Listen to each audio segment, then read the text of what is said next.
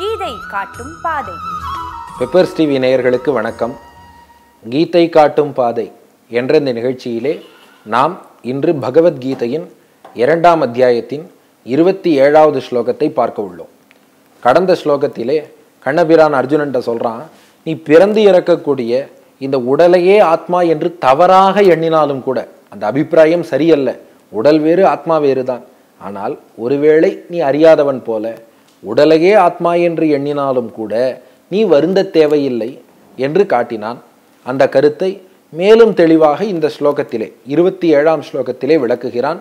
இரண்டாம் அத்தியாயம் இருபத்தி ஏழாவது ஸ்லோகம் ஜாத்தஸ்ய ஹி த்ருவோ மிருத்யுஹு த்ருவம் ஜன்ம மிருதஸ்ய ச தஸ்மாத் அபரிஹாரியேர்த்தே நத்வம் சோசித்தும் அர்ஹசி இந்த ஸ்லோகத்தின் பொருள் உருவாகிற பொருளுக்கு அழிவு என்பது தவிர்க்க முடியாதது.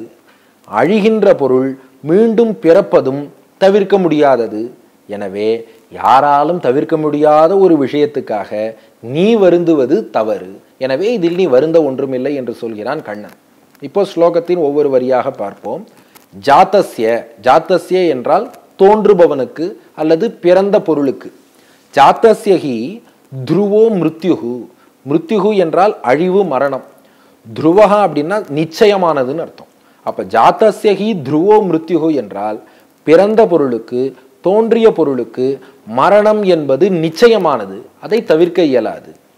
துருவம் ஜென்ம மிருதஸ்ய ச மிருதஸ்ய என்றால் அழிகின்ற பொருளுக்கு ஜென்ம மீண்டும் பிறத்தல் என்பதும் துருவம் சர்வ நிச்சயம். ஆக ஜாத்தஸ்யகி துருவோ மிருத்யுகோ துருவம் ஜென்ம மிருத்தசிய ச பிறந்த பொருளுக்கு அழிவு என்பதும் நிச்சயம். அழிந்த பொருள் மீண்டும் பிறப்பதும் நிச்சயம். பிறந்த பொருளுக்கு அழிவு நிச்சயம் என்பது புரிகிறது. ஆனால் அழிந்த பொருள் மீண்டும் பிறப்பது நிச்சயம் என்று எப்படி சொல்ல முடியும்? ஒரு உதாரணம் பார்த்தா புரியும். அதாவது ஒரு பொருளின் ஒரு நிலை அழிகிறது என்றால் ஒரு நிலை அழியும் போதே அந்த பொருளின் வேறு நிலை என்பது பிறக்கிறது. இப்போ ஒரு மண்கட்டியை உதாரணமாக எடுத்துக்கொள்வோம். ஒரு குயவர் வரார் மண்கட்டியிலிருந்து அவர் பானை செய்கிறார் என்றால் இந்த மண்கட்டி என்னும் நிலை அழிகின்ற போதே பானை என்ற புதிய நிலை தோன்றிவிடுகிறது.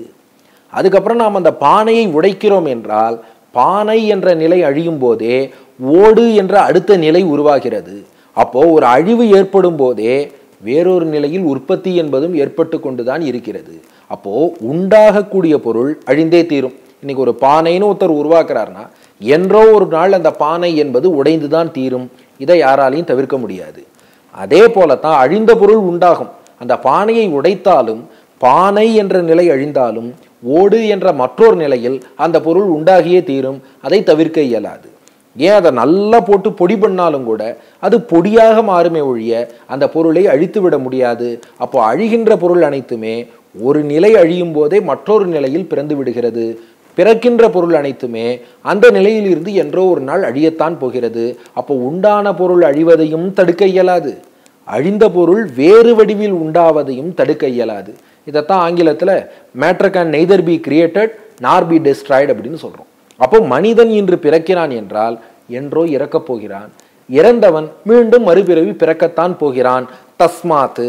தஸ்மாத் என்றால் அதனால். அதனால் அபரிகாரியே அர்த்தே. பிறந்தவனுக்கு இறப்பும் இறந்தவனுக்கு மறுபிறப்பும் தவிர்க்க முடியாததாக இருப்பதால் அபரிகாரியே அர்த்தே என்றால் தவிர்க்க முடியாதது என்பதால் நத்துவம் சோச்சித்தும் அருகசி. இப்போ அர்ஜுனா நீ ஒருவன் வருத்தப்பட்டு இதற்கு நீ என்ன செய்ய போகிறாய்? உலகில் பிறந்த எல்லோரும் ஒரு நாள் இறக்கப் போகிறார்கள். இறந்தவர்கள் எல்லோரும் மீண்டும் பிறக்கப் போகிறார்கள். உலக நியதியாக இது இருக்கும்போது நீ ஒருவன் என்னமோ இதற்காக வருத்தப்படுகிறாயே இது தேவையில்லை. எனவே உடலையே ஆத்மா என்று நீ தவறாக எண்ணினாலும் நீ வருந்துவதற்கு இடமில்லை என்று காட்டுகிறான் கண்ணன். ஆக ஸ்லோகத்தின் பொருள் உருவாகிற பொருளுக்கு அழிவு என்பது நிச்சயம். அழிகின்ற பொருளுக்கு மீண்டும் பிறத்தல் என்பதும் நிச்சயம். யாராலும் தவிர்க்க முடியாத இந்த விஷயத்தில் நீ வருந்துவதற்கு ஒன்றுமில்லை. இந்த ஸ்லோகத்தின் தமிழாக்கம் பிறந்தவனுக்கு ஆங்கிரத்தல் பின் அருதி அவ்வாறு இறந்தவனுக்கும் பிறப்பும் எய்தும். திறந்தன்னால் ஒன்றும் பரிகாரம் இல்லா ஒரு பொருட்கும் நின்று மனம் தளரேல் நீ என்கிறான் கண்ணன். ஆக ஸ்லோகம் ஜாத்தஸ்யஹி துருவோ மிருத்யுகு துருவம் ஜென்ம மிருதஸ்ய ச தஸ்மாத் அபரிகாரிய அர்த்தே நத்வம் சோசித்தும் அருகசி இப்போ அர்ஜுனனுக்கு வேற விதமான கலக்கம் வருகிறது. அவன் என்ன சொல்கிறான் ஒரு பானை உடைந்தால் அந்த பானை என்ற நிலை அழிந்த உடனேயே ஓடுங்கிற புதிய நிலை பிறக்கிறதுன்னு கண்ணன் லாஜிக் சொல்கிறான் ஆனால் அர்ஜுனன் சொல்கிற லாஜிக் அவ்வாறு பானை உடைந்தால் ஐயோ பானை உடைந்து விட்டதே என்று நாம் வருந்துகிறோமே. ஆகா ஓடு பிறந்து விட்டதே என்று யாரும் மகிழ்வதில்லை. பானை உடைந்து விட்டதே என்று வருத்தம்தான் படுவார்கள்.